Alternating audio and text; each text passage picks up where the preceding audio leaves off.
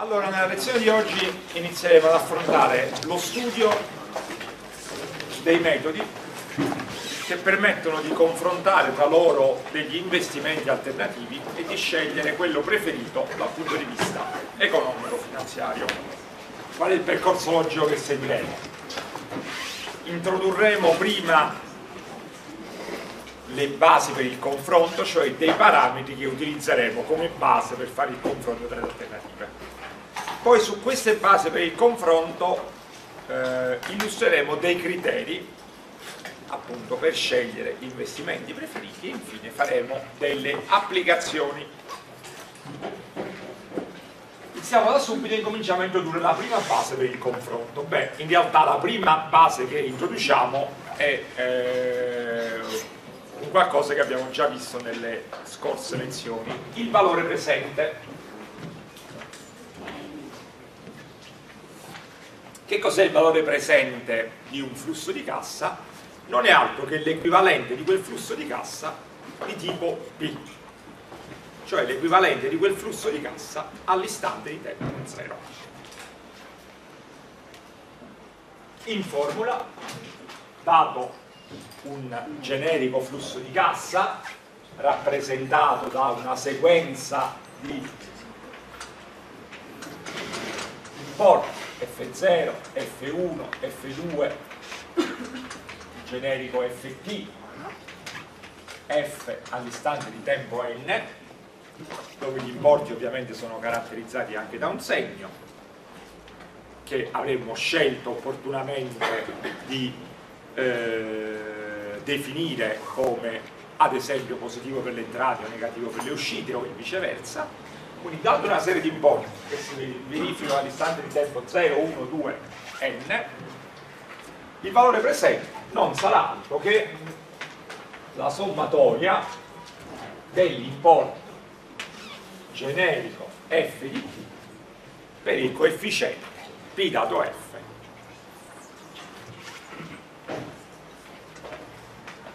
Al tasso di interesse I al quale andremo a calcolare il valore presente, per cui il valore presente dipenderà da tale tasso di interesse, quindi il valore presente sarà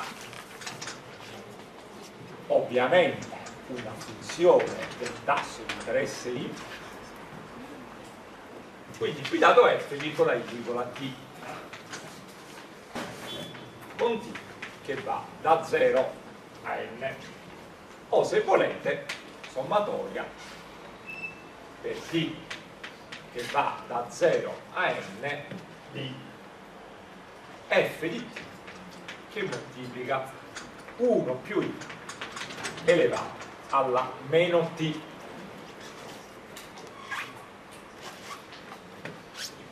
Bene questo è nient'altro che quello che abbiamo visto sinora abbiamo calcolato più volte negli esercizi appunto il valore presente che è la prima base per il confronto delle iniziative. Oh, dobbiamo dire che in questo caso, un po' quello che dissi in una delle lezioni precedenti, essendo il valore presente la base per il confronto delle alternative di fatto più usata, esiste una molteplicità di modi diversi di riferirsi a questa grandezza e anche una molteplicità di acronimi. Per esempio, valore presente è l'acronimo che abbiamo utilizzato in questo momento. Naturalmente ci sarà anche un acronimo inglese che è PV, Present Value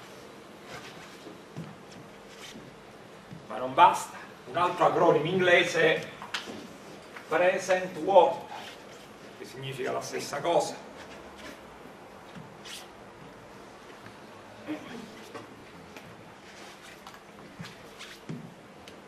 oppure eh, potete trovare altri acronimi che si riferiscono sempre alla stessa grandezza. Ad esempio vado a memoria non me li ricorderò tutti eh, DCF discounted cash flow e così via, ce ne sono diversi. Quindi nei testi anche negli esercizi troverete diversi modi di riferirsi alla stessa grandezza, così come nei testi appunto troverete acronimi diversi per riferirsi alla stessa grandezza d'accordo? bene questo è il valore presente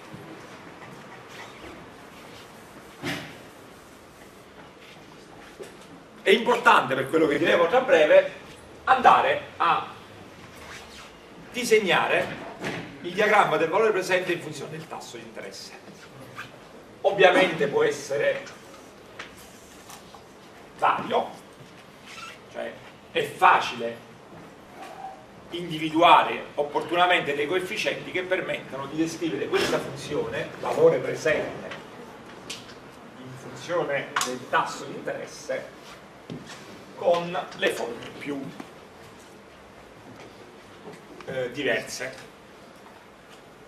Nella stragrande maggioranza dei casi, per flussi per così dire regolari, cioè caratterizzati da una serie di uscite e poi una serie di entrate, che è quello che avviene tipicamente in un investimento, investo e poi ci saranno i ritorni dell'investimento, quindi per flussi fatti in questo modo, uscite ed entrate, non per flussi per così dire strani, che sono uscite, entrate, uscite, entrate,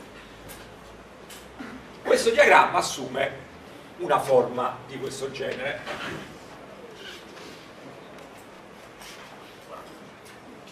Al tasso di interesse nullo, il valore presente non è altro che la somma algebrica di tutti i coefficienti, evidentemente, man mano che cresce il tasso di interesse, questo valore presente ovviamente tenderà a scendere, no? Tenderà a scendere perché vi ricordo che il flusso di cassa è fatto in questo modo, ci sono prima le uscite, F0, F1, poi le entrate, F2, F3, Fn, man mano che cresce il tasso di interesse, quando andiamo a attualizzare tutti questi importi, a calcolare l'equivalente all'istante di tempo zero, gli importi via via più lontano peseranno o meno, perché andranno divisi per il coefficiente 1 più i elevato a eh, esponenti via via crescenti, quindi 1 più i elevato alla prima, alla seconda, alla terza, alla n. Quindi è evidente che man mano che cresce il tasso di interesse questi denominatori saranno più grandi e quindi questi importi peseranno di meno quando andiamo a fare la somma. E quindi al crescere del tasso di interesse la funzione assumerà un andamento di questo genere. In particolare ci sarà un certo tasso di interesse per il quale questa funzione si annullerà e questo è importante e vedremo tra breve perché, perché questo punto è un punto rilevante e poi per tassi di interesse successivi la funzione assumerà un valore negativo d'accordo?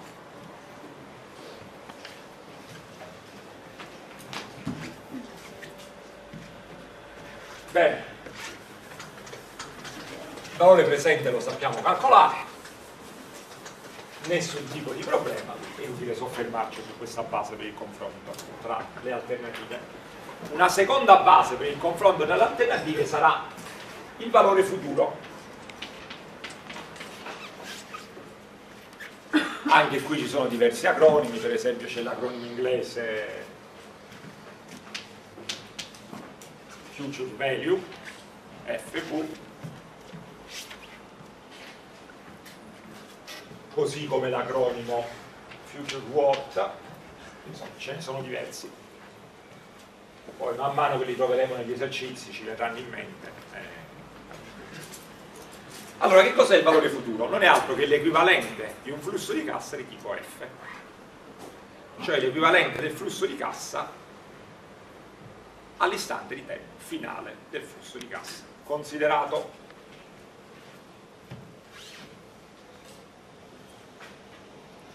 Lo sappiamo calcolare? sì, anche questo valore futuro lo sappiamo calcolare. Non sarà altro che la sommatoria per t che va da 0 ad n del generico importo f di t per il coefficiente questa volta f dato p, non facciamoci ingannare dalla terminologia che abbiamo utilizzato, se abbiamo un flusso di cassa appunto fatto così. 0, 1 t che so, un'entrata t questo sarà f di t n ci sarà f di n. Quando andiamo a calcolare il valore futuro dobbiamo portare avanti tutti questi importi all'istante di tempo finale. E quindi f di t dovrà fare questo tipo di operazione. Dovrà andare avanti di n meno t anni. E quindi bisognerà moltiplicarlo per il coefficiente f dato p al tasso di interesse i per appunto n meno t anni. D'accordo? Questa base per il confronto la chiameremo valore futuro. Per completezza, seppur meno utilizzata un'altra base per il confronto è l'equivalente annuo.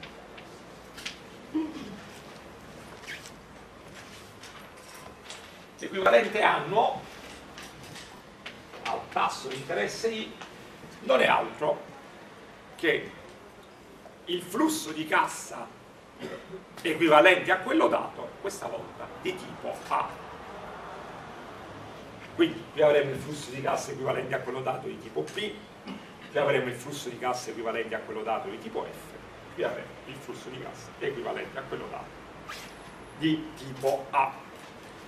È un po' più difficile andare a, a ricavare la formula generica in termini di coefficienti perché ricordiamoci come è fatto no? un flusso di tipo A man mano che andiamo avanti dovremo scomporlo in una serie di importi uguali, alcuni in anni successivi, altri in anni precedenti, ma tutto sommato non ha neanche senso fare un'operazione di questo genere perché se abbiamo capito come si calcolano queste cose possiamo ricavare l'equivalente anno direttamente a partire per esempio dal valore presente.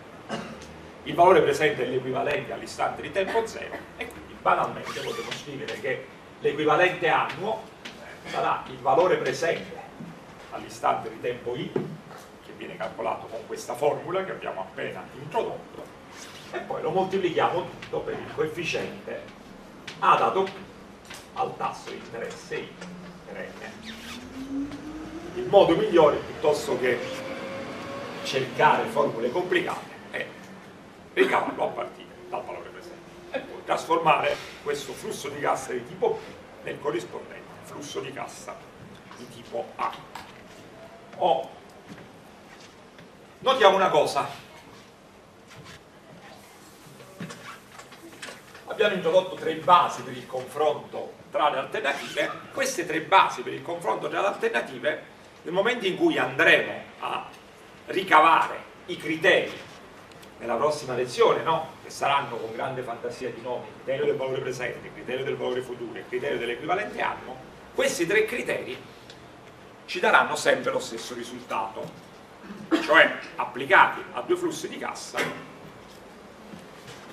alternativi, se scegliamo il preferito col criterio del valore presente o con il criterio del valore futuro o col criterio dell'equivalente anno, otterremo sempre lo stesso dei due flussi di cassa come quello scelto. Questo perché? Beh, è abbastanza ovvio. Dati due generici flussi di cassa, diciamo A e B, possiamo ricavare questa relazione. Il rapporto tra il valore presente del flusso di cassa a un istante di tempo I diviso il valore presente del flusso B stesso tasso di interesse I sarà uguale al valore futuro. Calcolato per il flusso di cassa A al tasso di interesse I diviso il valore futuro calcolato per il flusso B al tasso di interesse I e sarà anche uguale al rapporto tra l'equivalente annuo del flusso A tasso di interesse I l'equivalente annuo del flusso B al tasso di interesse I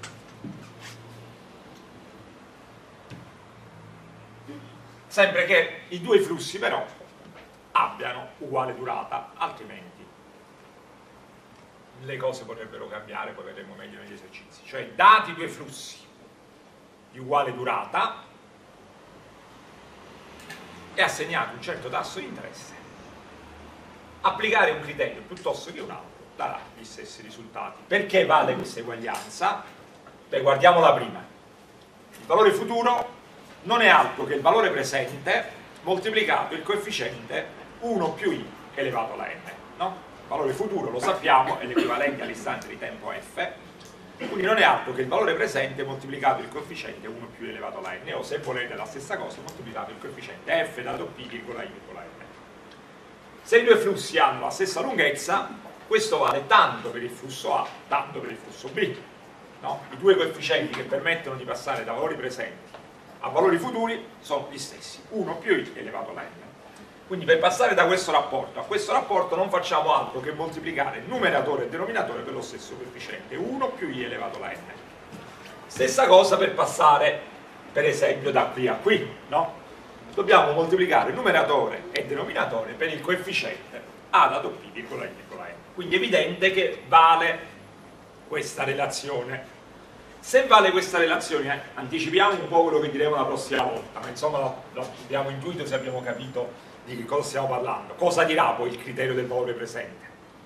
Dirà, poi lo formalizzeremo la prossima volta, se prendiamo le entrate positive e le uscite negative, tra due flussi di cassa sceglieremo quello che ha il maggiore valore presente, no?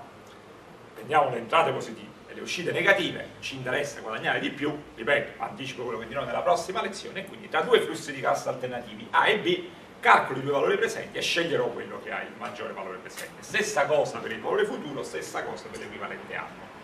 Allora cosa ci dice questa relazione? Che se un flusso di cassa ha un valore presente maggiore dell'altro, avrà anche un valore futuro maggiore dell'altro e avrà anche un equivalente anno maggiore dell'altro il che significa che i tre criteri ci daranno sempre lo stesso risultato.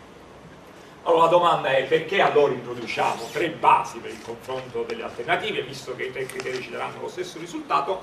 Come sempre in questi casi useremo uno piuttosto che l'altro semplicemente per ragioni dettate dalla semplificazione dei calcoli.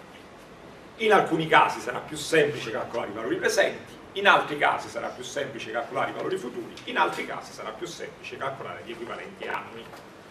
Ma è evidente che i tre criteri daranno sempre lo stesso risultato. Lo ripeto, nel caso di flussi di uguale durata, eh? poi per flussi di durata diversa vedremo come fare. D'accordo? Ci sono domande? Benissimo, ciò premesso invece introduciamo una base per il confronto delle alternative che coglie aspetti diversi parzialmente diversi da quelli colti da queste tre basi, valore presente, valore futuro e equivalente. A quindi di conseguenza introduciamo una base per il confronto delle alternative che se usata non necessariamente darà gli stessi risultati ad esempio del valore presente. E poi vedremo in quali casi utilizzare una base piuttosto che in quali casi utilizzare un'altra base Questa base si chiama tasso interno di rendimento, il TIR, tasso interno di rendimento, il TIR. In inglese l'acronimo più utilizzato è Internal Rate of Return, che è la stessa cosa, rate è la traduzione di eh, tasso di interesse, d'accordo? Quindi Internal Rate o return o tasso interno di rendimento. Sono la stessa cosa, è un altro parametro molto utilizzato. Vediamo come si definisce il TIR. Abbiamo diversi modi di definire il TIR. Una definizione, per così dire, di natura algebrica, che ci dà anche poi il metodo per calcolare il TIR, è una definizione che coglie invece gli aspetti di significato economico di questo tasso interno di rendimento. Vediamo prima la definizione di natura, per così dire, algebrica. Il TIR è quel tasso di interesse che eguaglia le entrate alle uscite equivalenti. Il TIR è quel tasso di interesse che eguaglia le entrate alle uscite equivalenti. Quel tasso di interesse che eguaglia le entrate alle uscite equivalenti. Nella definizione, badate bene, non abbiamo detto in quale punto andare a verificare questa eguaglianza. Perché non l'abbiamo detto? Perché è irrilevante. Perché è irrilevante? Perché se in un punto stabiliamo che il flusso di cassa per un determinato tasso di interesse, che chiameremo T, è tale per cui le entrate sono equivalenti alle uscite, complessivamente il flusso di cassa sarà equivalente a 0. Se un flusso di cassa è equivalente a 0, se noi portiamo 0 avanti o indietro di 1, 2, n anni, otterremo sempre 0. Quindi la verifica dell'equivalenza delle entrate alle uscite, cioè dell'equivalenza a 0 dell'intero flusso di cassa, può essere fatta in un qualsiasi punto. D'accordo? Ci viene naturale perché è la prima cosa che ci viene in mente, verificare questa eguaglianza delle entrate alle uscite nel punto zero. Se così facciamo, lo ripeto, non è obbligatorio, quindi la definizione è il tasso di interesse che eguaglia le entrate alle uscite equivalenti. Possiamo fare la verifica in un qualsiasi punto, se la verifica la facciamo nell'istante di tempo zero, noi abbiamo chiamato valore presente l'equivalente a zero del flusso di cassa e quindi di converso avremo che il TIR è quel tasso di interesse che annulla il valore presente, cioè che soddisfa la relazione 0 uguale valore presente di Attenzione a non confonderci, il che non significa che la definizione di TIR è quel tasso di interesse che annulla il valore presente, è formalmente, come dire, un'inesattezza perché è un caso particolare. Il TIR è quel tasso di interesse che annulla il valore presente, così come quel tasso di interesse che ad esempio annulla il valore futuro, è la stessa cosa. Più correttamente il TIR è quel tasso di interesse che rende equivalenti le entrate alle uscite. Ecco appunto il grafico di cui prima, ve lo ricordate, lo disegno, abbiamo questa situazione, valore presente, tasso di interesse, questo punto, cioè il punto in cui il valore presente si annulla, questo punto specifico, questo tasso di interesse specifico, sarà il TIR. D'accordo? Quindi il TIR, lo ripeto, è quel tasso di interesse che rende equivalenti le entrate delle uscite. Ad esempio possiamo stabilire l'equivalenza all'istante di tempo zero, otterremo questa situazione. Andremo a cercare quel tasso di interesse che annulla il valore presente e chiameremo questo tasso di interesse TIR. Bene, ovviamente possiamo applicare quella formula e quindi possiamo scrivere 0 uguale valore presente di uguale la sommatoria di questa la sommatoria di f di t per 1 più i elevato alla meno t per t che va da 0 a n. Come si determina il tir? Poi tra poco arriveremo alla definizione economica del tir e capiremo che senso ha dal punto di vista economico. Però fermiamoci un attimo a questo tipo di definizione che come dicevo ci permette anche di determinare una metodologia di calcolo per determinare appunto il tir. Beh, questi sono coefficienti, basta risolvere questa equazione. Questa è un'equazione di grado n nell'incognita i. E quindi è un'equazione che si risolve. Il problema è, come vedremo tra poco, che questa equazione è un'equazione un po' scomoda, perché è un'equazione frazionaria, no? F0 più F1 diviso 1 più i più F2 diviso 1 più i al quadrato più puntini puntini più Fn diviso 1 più i alla n. Innanzitutto è un'equazione che ammette n radici, dobbiamo trovarle tutte, in questo caso particolare abbiamo un'unica soluzione, il che come vedremo significa che le n soluzioni sono tutte coincidenti, però abbiamo detto che ci sono dei casi in cui questo diagramma non è così regolare, ma per esempio il diagramma sarà, che so, di, di questo tipo. E quindi avremo più punti in cui il valore presente interseca l'asse delle ascisse, più soluzioni diverse di questa equazione e quindi più di un tir. Vedremo poi come gestire anche queste situazioni. Come dicevo, possiamo risolvere le equazioni oppure utilizzando le tabelle possiamo risolverla in maniera numerica per tentativi, come abbiamo fatto già più volte in casi simili, anche se non abbiamo chiamato la soluzione in realtà TIR, no? vi ricordate, qualche volta abbiamo invertito il ruolo dell'incognita e l'incognita di un'equazione di quel tipo era proprio il tasso di interesse. Ad esempio facciamo un esempio semplice, numerico, supponiamo che la sequenza dei coefficienti sia questa, t, f di t, 0, 1, 2, 3, 4, 5, meno 1000, meno 800 e poi tutti 500, 500, 500, 500, 1200. Cioè stiamo cercando il tir di questo flusso di cassa. 1000 800 500 500 500 e infine 1200 0 1 2 3 4 5 d'accordo? stiamo cercando il tir di un flusso di cassa di questo tipo che cosa dobbiamo fare? Dobbiamo andare a risolvere questa equazione e possiamo risolverla utilizzando le tabelle.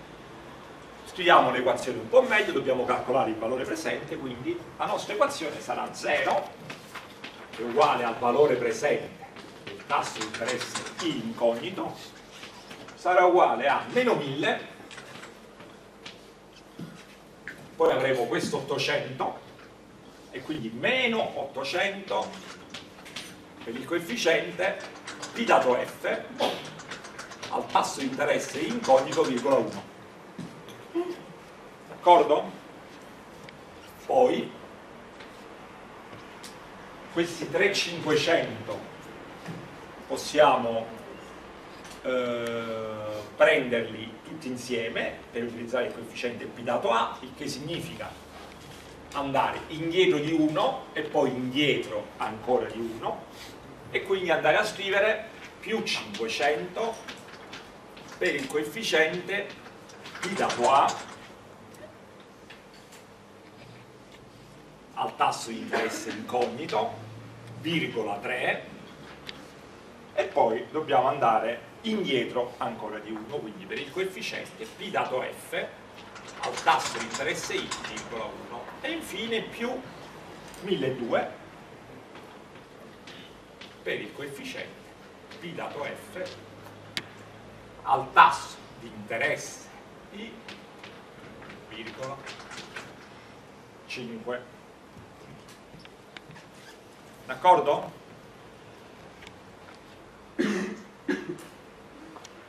Siamo d'accordo?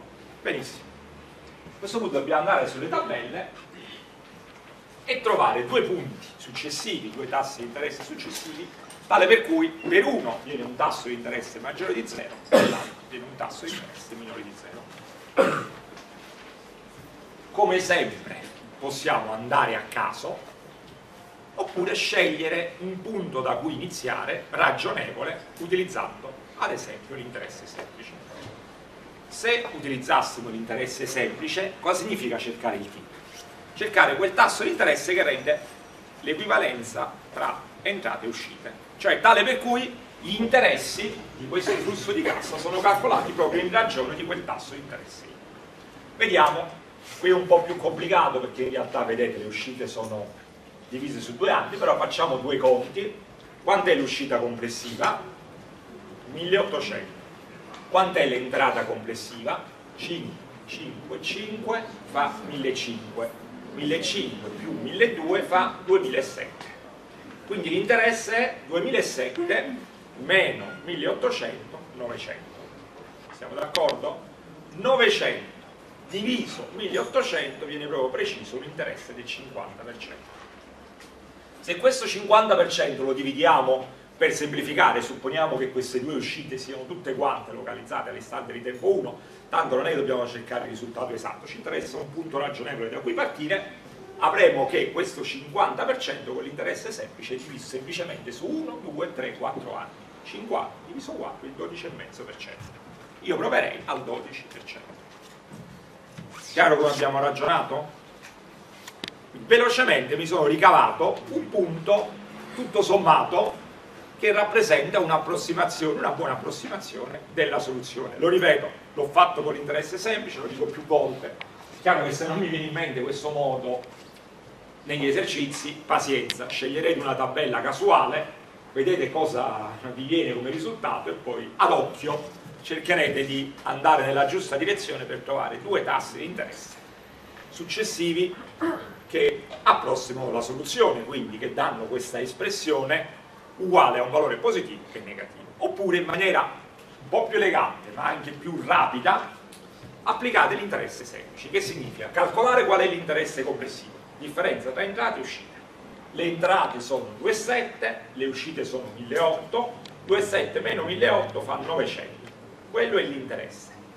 Calcolare il tasso di interesse complessivo di tutta la durata dell'investimento dividendolo per le uscite 900 diviso 1008 viene facile, fa 0,5 esattamente il 50%, con l'interesse semplice questo tasso di interesse si divide banalmente per il numero di anni.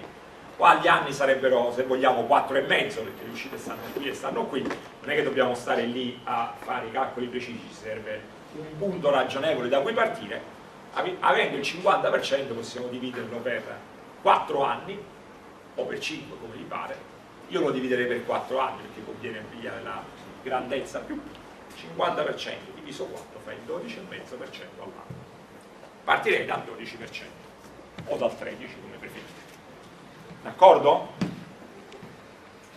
che cosa succede?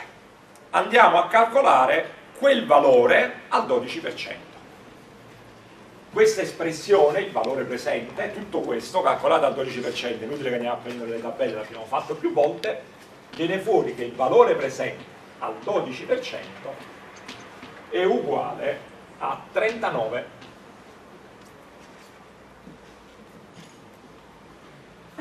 che dobbiamo fare? dobbiamo scendere di valore presente ecco lì il grafico. Quello vedete è un classico flusso di cassa regolare quindi è un andamento di questo genere uscite poi entrate. Quindi cosa facciamo? saliamo o scendiamo col tasso di interesse.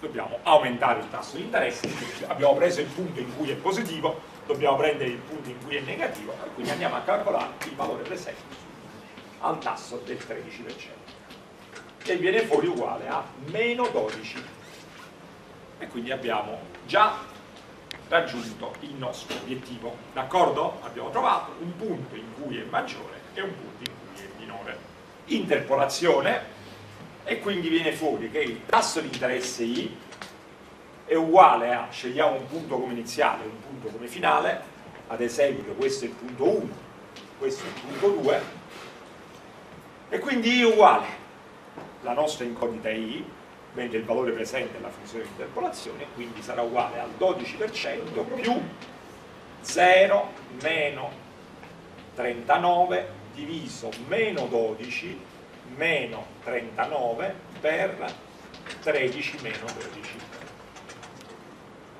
e questo dà il 12,8% d'accordo? e abbiamo risolto questo primo problema di determinazione del domande? chiaro come abbiamo proceduto? Perfetto Torniamo invece al significato economico del TIR, diamo la definizione economica di TIR. Che cos'è il TIR? Come si definisce il TIR dal punto di vista economico? Si definisce in questo modo.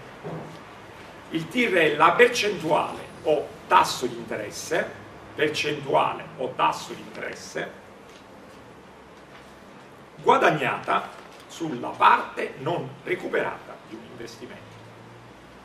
Percentuale o tasso di interesse guadagnata sulla parte non recuperata di un investimento. D'accordo?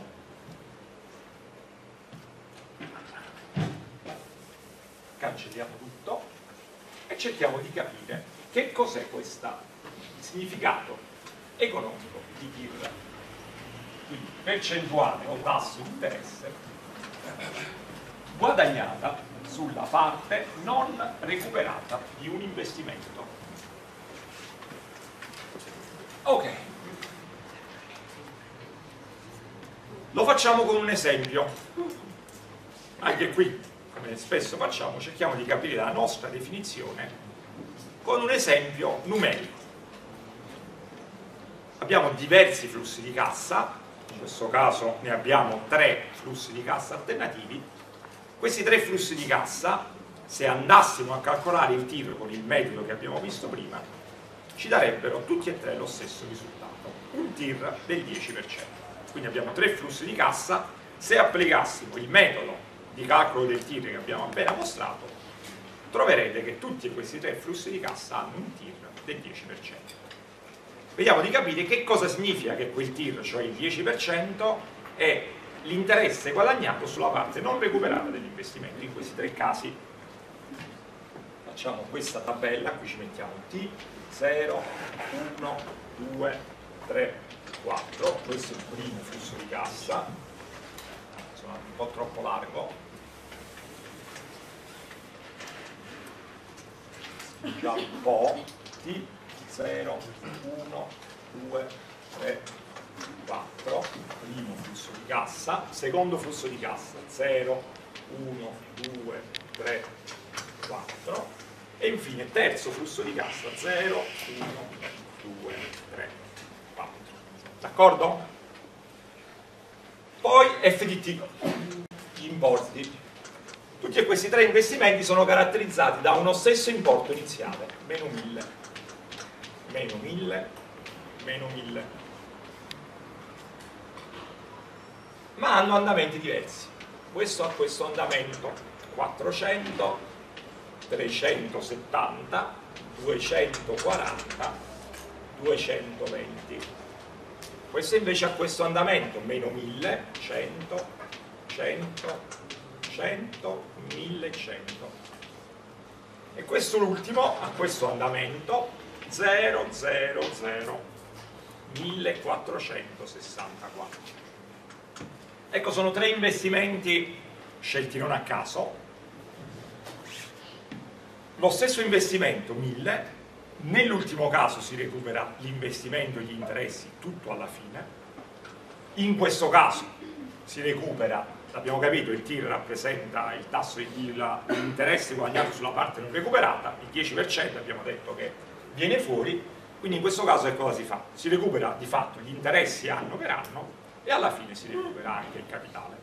E qua invece è la situazione intermedia, anno per anno si recuperano gli interessi e un po' di capitale. Eh, quindi sono i tre casi limite, interessi e capitale tutto alla fine, interessi nel corso degli anni capitale alla fine e qui un po' di interessi e un po' di capitale anno per anno. Allora, con U di T-1 indichiamo la parte non recuperata dell'investimento all'istante T-1 e poi vedremo perché ci serve. Iniziamo da questo flusso di cassa qui. Evidentemente all'istante di tempo zero, beh, non ha proprio senso, perché non c'è il t-1, mettiamoci il 3 D'accordo? Arriviamo alla fine del primo anno. Quanti soldi abbiamo recuperato alla fine del primo anno? Non abbiamo ancora recuperato nulla. No? Abbiamo investito 1000 e non abbiamo ancora incassato nulla. Quindi la parte non recuperata dell'investimento sarà proprio uguale a 1000 euro no? dobbiamo ancora recuperare 1000 euro. Su questa parte non recuperata dell'investimento maturano gli interessi. In che ragione? Interessi saranno uguali a il tasso di interesse, che è proprio il TIR per definizione, questo significa la parte non recuperata dell'investimento rivalutata a un tasso di interesse pari a quindi TIR per UDT-1 allora, rivediamolo, è passato un anno. Siamo arrivati alla fine del primo anno quanti soldi devo ancora recuperare? qual è la parte non recuperata dell'investimento? 1000 su questi 1000 mi devono riconoscere se sono io quello che ho fatto gli investimenti un interesse. Il TIR rappresenta il tasso di interesse riconosciuto sulla parte non recuperata degli investimenti. E quindi gli interessi saranno uguali al TIR per UDT-1 in questo caso particolare saranno uguali a 0,1 vi ricordo che come ho detto prima se noi andassimo a calcolare il TIR in questi tre casi col metodo di prima troveremo sempre il 10% quindi 0,1 per 1000 e quindi uguale a 100 d'accordo? Qual è la parte non recuperata dell'investimento dopo un anno? Quindi UDT. Qual è la formula? UDT sarà uguale a UDT meno 1 più gli interessi, quindi UDT meno 1 più UDT meno 1 per il TIR, quindi UDT meno 1 per 1 più il TIR.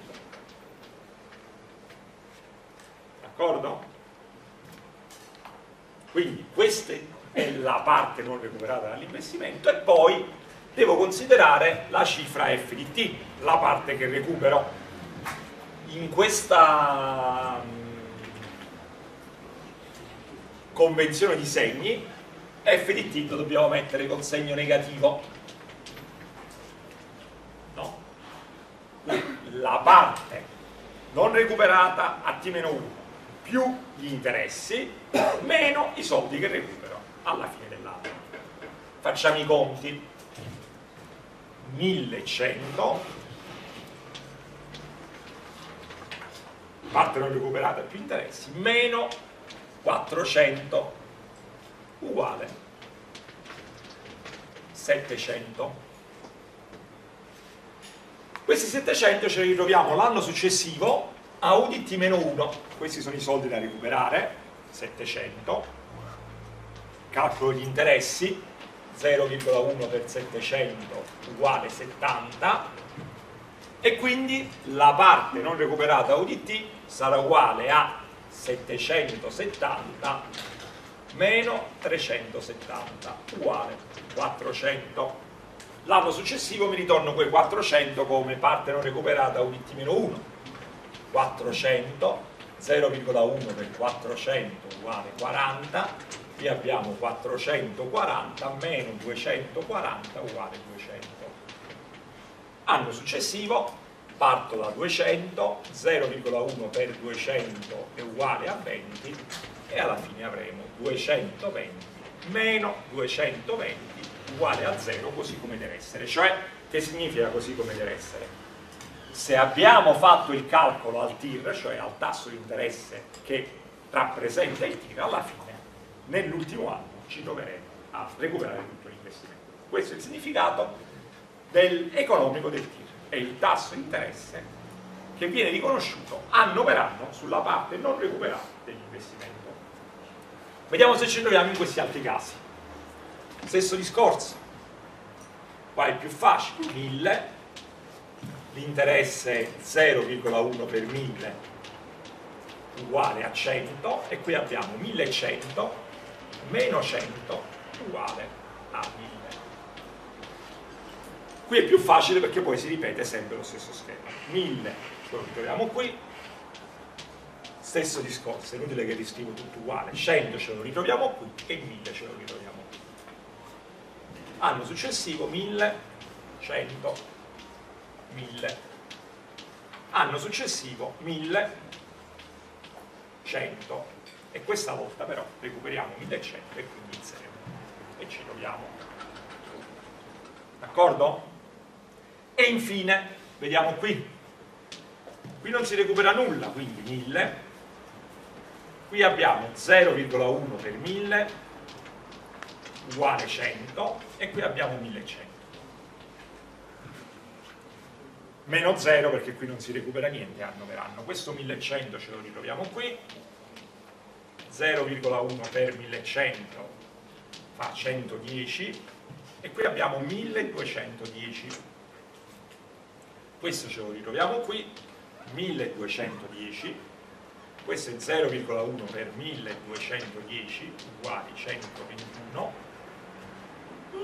e qui abbiamo 1331 questo ce lo ritroviamo qui 1331 qui abbiamo 0,1 per 1331 dovrebbe fare 133,1 ma evidentemente nell'esempio ci sono solo i numeri interi l'esempio se vogliamo essere precisi qui dovrebbe esserci 1464,1 quindi diciamo 133 e quindi 133 più 1331 fa 1464 meno 1464 e quindi è proprio 0 d'accordo? quindi in tutti e tre i casi abbiamo verificato che il TIR rappresenta il tasso di interesse sulla parte non recuperata degli investimenti. D'accordo? questo è il significato di TIR. Poi capiremo come lo utilizziamo nei criteri però già abbiamo capito che è un qualcosa di completamente diverso dal valore presente. Il valore presente rappresenta l'equivalente di tutto il flusso di cassa all'istante di tempo zero il TIR rappresenta un qualcosa di completamente diverso tasso di interesse guadagnato sulla parte non recuperata di un investimento allora Ciò premesso, introduciamo un altro discorso che completiamo poi.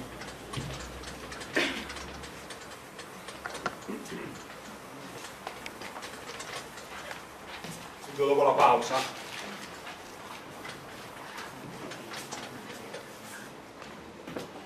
Sviluppiamo questa equazione. 0 uguale F0 più F1 1 più i più F2 1 più i al quadrato più, più Fn 1 più i alla n. Bene, questa è un'equazione polinomiale, anzi questa è un'equazione in i frazionaria di grado n, frazionaria di grado n. Adesso arriviamo alla spiegazione polinomiale del TIR. Facciamo questa sostituzione, x uguale 1 diviso 1 più i. Questa equazione diventa 0 più f0 uguale, chiedo scusa, f0 più f1x più f2x al quadrato più, più fnx alla n ed è un'equazione polinomiale di grado n che noi sappiamo gestire molto meglio delle equazioni razionali. Questa equazione polinomiale di grado n può essere risolta e troveremo il tir. In realtà troveremo i tir, perché un'equazione polinomiale di grado n ammette n soluzioni. Vi ricordo che queste soluzioni possono essere reali o possono essere complesse se questa equazione ammette una soluzione complessa, ammetterà anche la sua coniugata. Quindi le soluzioni complesse vanno sempre a coppie. D'accordo? Bene. Qual è il problema? Il problema è questo. Ci possiamo trovare nelle condizioni date dal grafico che abbiamo commentato sinora. flusso di cassa che ammette un unico tir. Innanzitutto, quando ammette un unico tir, se ritorniamo alla nostra soluzione polinomiale, di che cosa stiamo parlando? Alla nostra equazione polinomiale, di che cosa stiamo parlando? A noi che soluzione interessa? Vi ricordo che il tasso di interesse I appartiene all'intervallo, l'abbiamo visto la volta scorsa, meno 1 infinito d'accordo? Quando i è uguale a infinito, x è uguale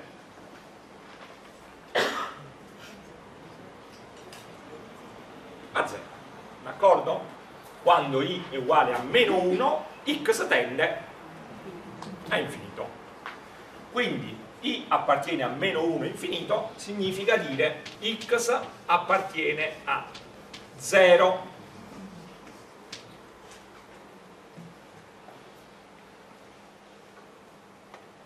infinito. Anzi per essere precisi l'intervallo è aperto perché quando i tende a infinito x tende a 0 d'accordo? quindi a noi interessano le soluzioni reali positive di questa equazione polinomiale d'accordo? ovviamente non ci interessano le soluzioni complesse ci sono, non c'è dubbio ma a noi non interessano così come a noi non interessano le soluzioni reali negative in x perché porterebbero a tasse di interesse che non hanno significato economico. Quindi può capitare che questa equazione tra le n soluzioni ammetta un'unica soluzione reale positiva. Possono anche essere radici multiple, cioè ammetta più soluzioni reali positive però tra loro coincidenti e quindi ammette un'unica soluzione reale positiva e quindi ci troveremo in questa condizione. Ma può anche capitare che questo flusso di cassa ha dei coefficienti per i quali questa equazione polinomiale, al di là delle soluzioni negative, reali negative, e al di là delle soluzioni complesse e coniugate, ammetta più di una soluzione reale positiva distinta. Che significa ci troveremo in queste condizioni qui ci mettiamo PV qui ci mettiamo I qui ci mettiamo PV qui ci mettiamo I. Ad esempio in questa soluzione in questa situazione.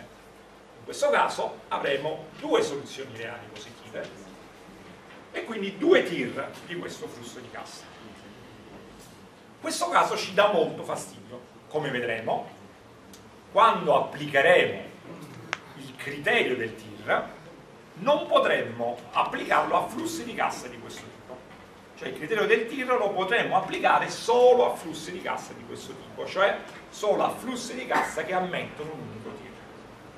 Quindi invece quando ci troveremo in queste condizioni, il criterio del tir, almeno a questi flussi di cassa, non potrà essere applicato. D'accordo? Quindi dobbiamo assolutamente capire in quali casi ci troviamo in questa situazione, una sola soluzione reale positiva, e in quali casi ci troviamo in questa situazione, più di una soluzione reale positiva distinta. Ed è quello che vedremo subito dopo la pausa.